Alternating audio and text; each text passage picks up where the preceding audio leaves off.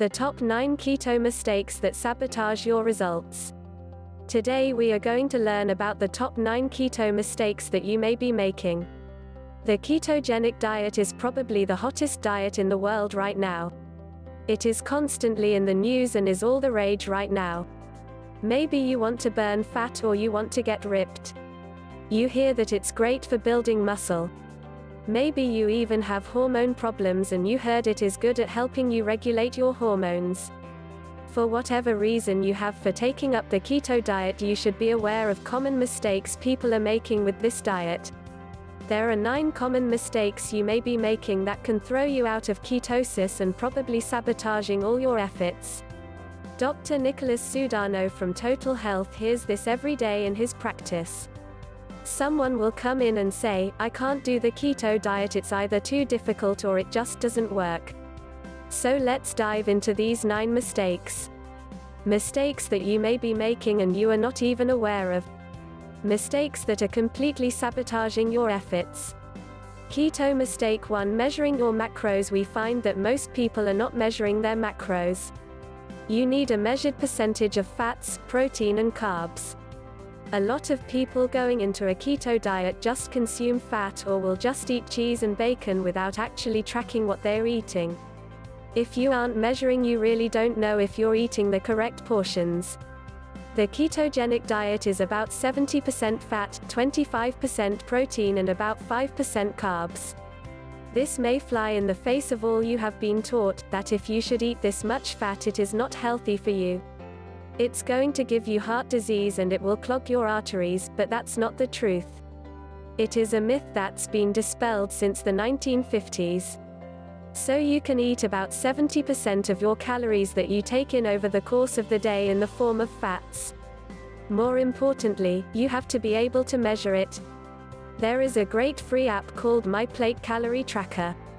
Once logged in, you just put in your information and you can then start tracking your macros. By just scanning a barcode, you will see if the food that you're going to eating meets these criteria. It displays the ratios of the food as a pie chart so that you can track your macros and making sure that you are getting the right amount of nutrients. If you're not tracking that on a daily basis, you might have too many proteins or too much or not enough carbs. Keto mistake 2 Measuring your ketones. Are you even measuring your ketones? Just because you are changing your diet or eating a lot more fat doesn't mean that you are getting into ketosis. Do you even know if you are in ketosis? The only way to know is to actually measure it, and there are three different ways you can do this. You can check your urine by basically looking at acetoacetate, which is something that your body excretes out through the urine. The measure of ketones will form in the first couple of weeks of your diet. To do this, you can use test strips which you pass through your urine as you urinate. You then compare it to the color chart provided which lets you know how much into ketosis you are. The ketone test strips are only good for the first couple of weeks as your body is not going to be excreting acetyl after the first few weeks. The breath test is another good check. With this test you are measuring acetone which is that sweetness you taste on your breath. This test is done with a device that can be purchased online. We recommend the Ketonix Breath Analyzer. You may not want to try this as these keto breath testers can be a little expensive. Another drawback with these devices is not getting the measurements the same. Sometimes you may blow harder and sometimes less. Or sometimes it's more forceful and you are not really getting that nice even breath distribution to be able to know if you are getting a good quantitative measurement or analysis.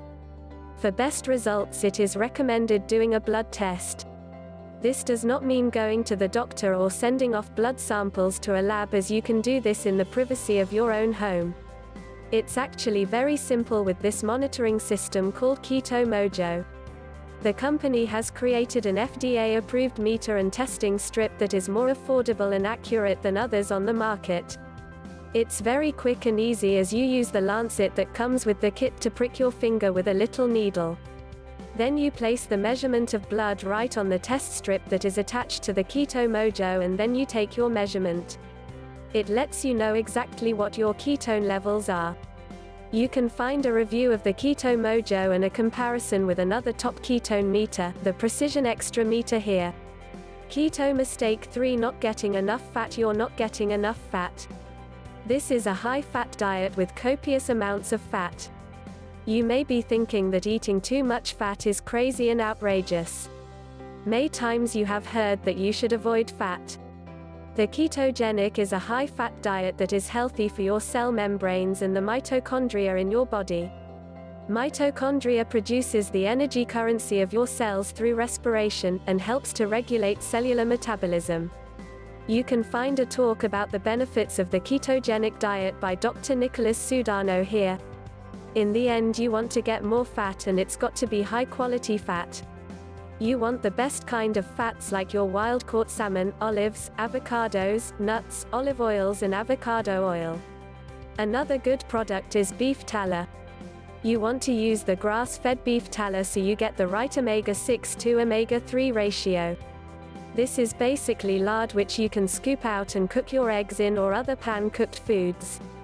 A company named Epic Provisions makes great grass-fed tallow. You also have ghee which is really clarified butter taken to another level, giving it health benefits that make it healthier than butter.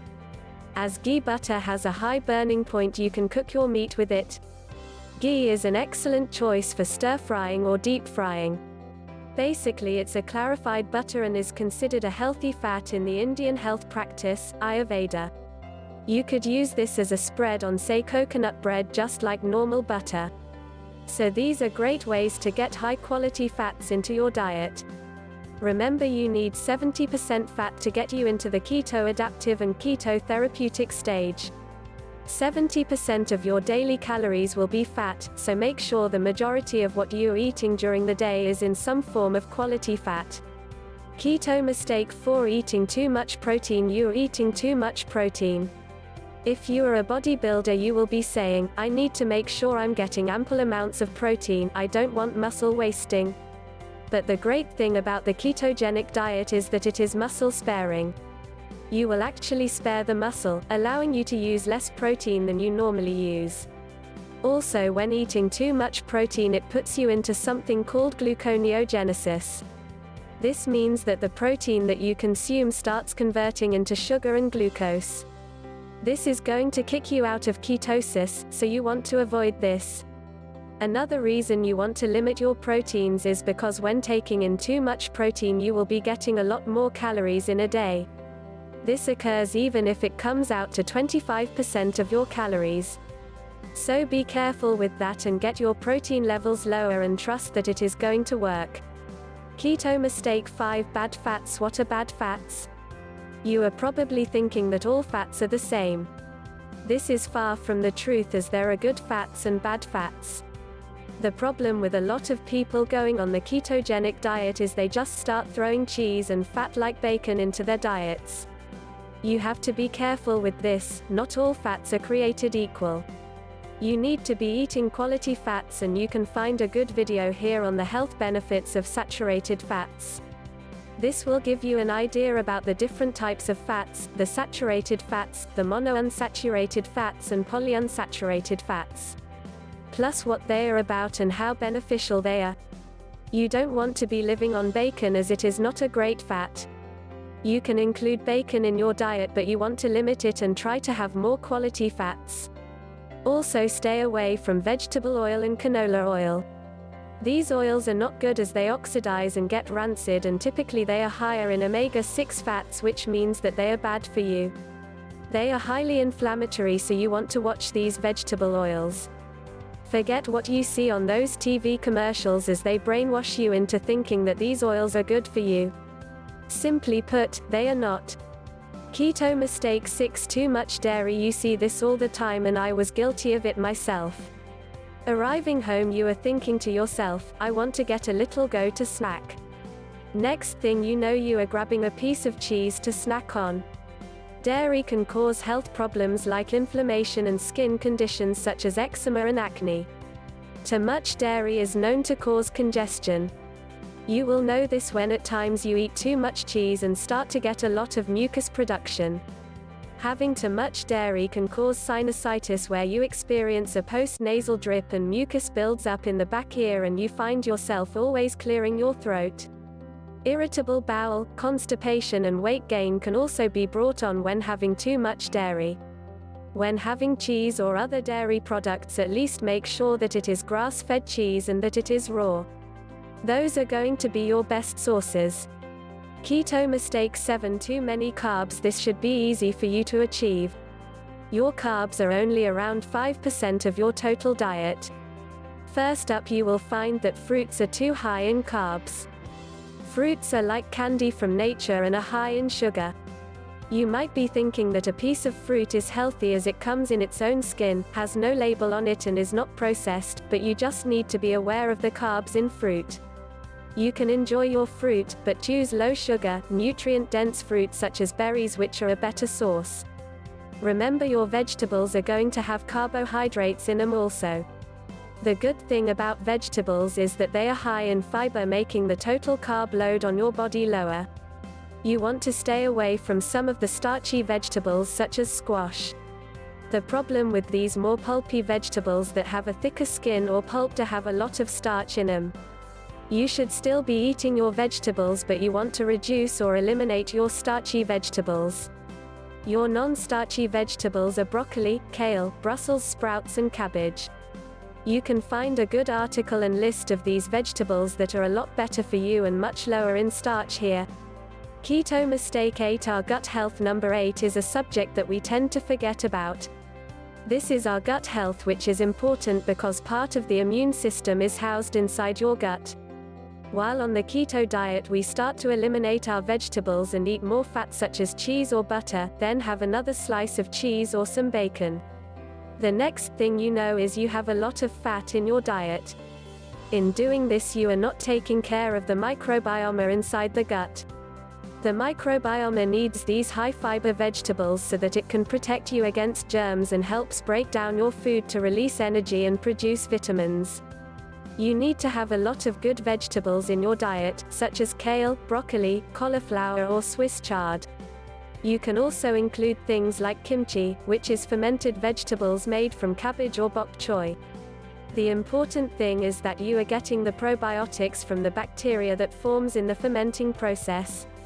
You are also getting the prebiotics that acts as a form of dietary fiber and fertilizer for the good bacteria in your gut. You may not have heard of prebiotics, this is from the fermented vegetables such as cabbage or bok choy which the bacteria eats.